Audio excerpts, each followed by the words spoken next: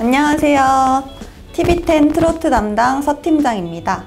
오늘도 임영웅의 소식을 먼저 소개해 드릴 텐데요. 어마어마한 소식이니 깜짝 놀랄 준비하세요. 먼저 임영웅이 6월 2주차 아이돌 차트 평점 랭킹에서 1위를 차지했다는 소식입니다. 임영웅은 아이돌 차트에서 6월 둘째 주 일주일간 집계된 평점 랭킹에서 무려 83만 8,106표를 얻어 1위에 올랐다고 하는데요. 여기에서 더 중요한 것은 이번 투표에서 임영웅이 역대 최다 득표를 기록했다는 사실입니다.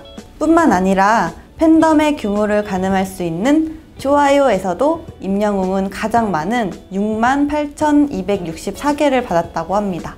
여기에서 끝나면 임영웅이 아니겠죠?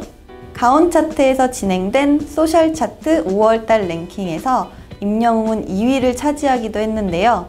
어마어마한 팬덤을 자랑하는 케이팝 가수들 사이에서 트로트 가수가 2위를 차지한 것은 정말 놀라운 일입니다.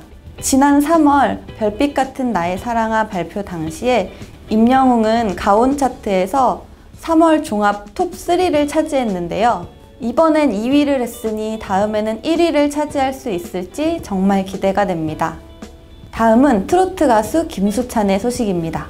김수찬은 바로 어제 3주간의 군사훈련을 마치고 돌아왔는데요. 자신의 SNS에 무사히 귀환했다고 알리며 씩씩한 모습을 보여줬습니다. 귀공자 비주얼을 자랑하던 김수찬은 늠름해진 비주얼로 남성미를 드러내며 또 다른 매력을 선보였는데요. 어떤 모습을 해도 훈훈한 건 마찬가지네요. 김수찬이 올린 게시물에는 트로트 가수 남승민이 형 보고 싶었습니다 라고 귀엽게 댓글을 달았는데요. 트로트 가수 설아유는 웰컴이라는 짧은 댓글로 김수찬을 환영했습니다. 코미디언 정준하와 신봉선 또한 고생했다고 댓글을 달며 응원을 보내기도 했습니다.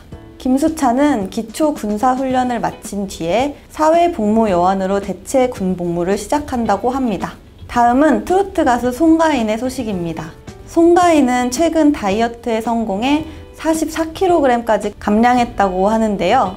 다이어트 전에도 예뻤는데 살을 빼고 나니 더 예뻐져서 깜짝 놀랐습니다. 송가인은 최근 KBS2 랜선장터 첫 화에 출연했었는데요. 이날 송가인은 방송에서 5kg이나 감량했는데 실물보다 TV가 통통하게 나온다 이렇게 버럭 화를 내기도 했습니다. 하지만 작년에 제가 한 현장에서 송가인 씨를 직접 만난 적이 있는데요. 다이어트 전인데도 통통하기는커녕 날씬하고 예쁘고 사랑스럽기만 했습니다. 오히려 실물이 너무 아름다워서 깜짝 놀랐던 기억이 나네요. 송가인 씨, 다이어트 안 해도 예쁘니까 걱정하지 마세요. 지금까지 버릴 소식이 없어서 준비한 트롯 통신이었습니다. 그럼 오늘도 건강하고 행복한 하루 보내세요. 안녕.